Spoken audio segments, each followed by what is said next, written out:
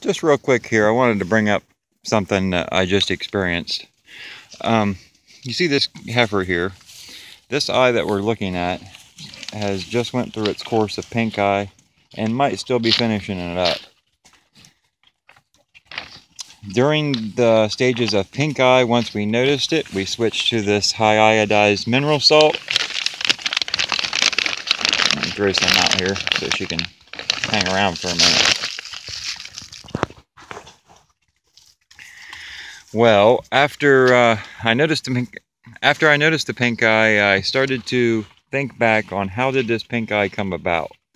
And what I think happened, and I'm going to try and explain this to you here. Uh, one of our pastures only has two spigots. So in order to get water to each paddocks, I set up an alley and just every day make sure they have access from their paddocks to the alley to get water. After the first day, of them having that alley, I uh, I went in there with my ATV and my drag, and I dragged down the weeds and spread out the manure, and uh, didn't think of much of an issue at the time. Well, now that the pink eye came about, I uh, started thinking about that daily as I'm dragging different paddocks and weeds and knocking them down, and it hit me. I think I brought the pink eye, the pink eye on myself, and here's what I am thinking. When I went into that alley that day and I drug out them manure patties and knocked down them weeds,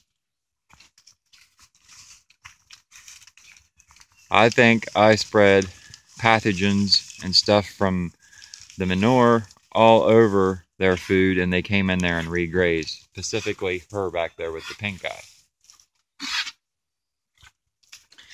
Now, several people have asked me, why do I think that's what caused it.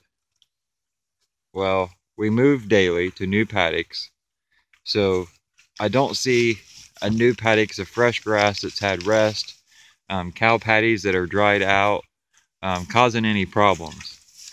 But I do know that after a cow takes a dookie, and it splatters on the ground, and the horn flies move in to start laying their larvae in that nice warm pool of poo.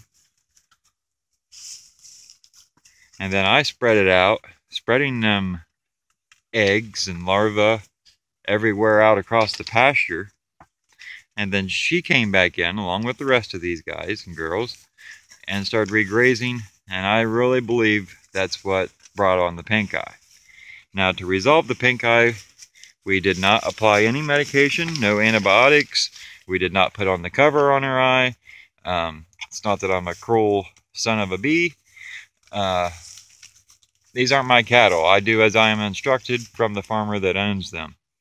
And uh, he's one of these guys that uh, really believes in uh, doing things natural and told me just keep moving her, keep moving them to fresh grass, and also give her this high iodized mineral salt.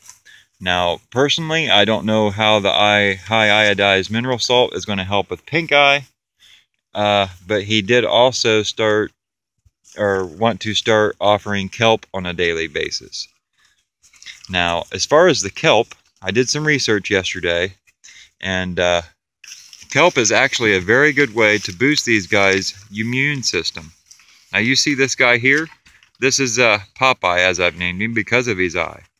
Uh, he was purchased this way and uh, he hasn't been a problem and I have a video on my channel about him if you would like to learn more about him. But that's a case of pink eye, a severe case of pink eye that went horribly wrong.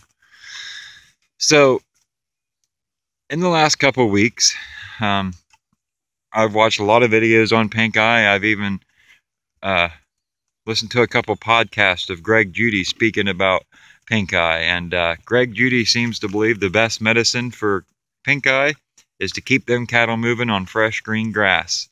Keep them off that old nasty stuff. So uh, with that being said, and the owner not wanting to put a whole lot of effort into managing this with medicine or anything like that, uh, that's what I did. I kept them hopping.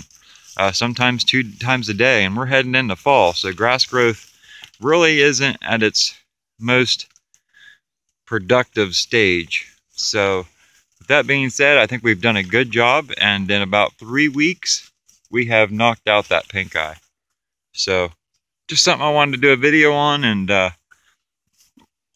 put my thoughts out there. If you have any thoughts or suggestions or uh, maybe just some input on how you think the pink eye came about or whether you agree or disagree or uh, whatever, uh, leave it in the comments below. Um, if you like the video, give me a thumbs up. I'd appreciate it. And uh, take time to subscribe.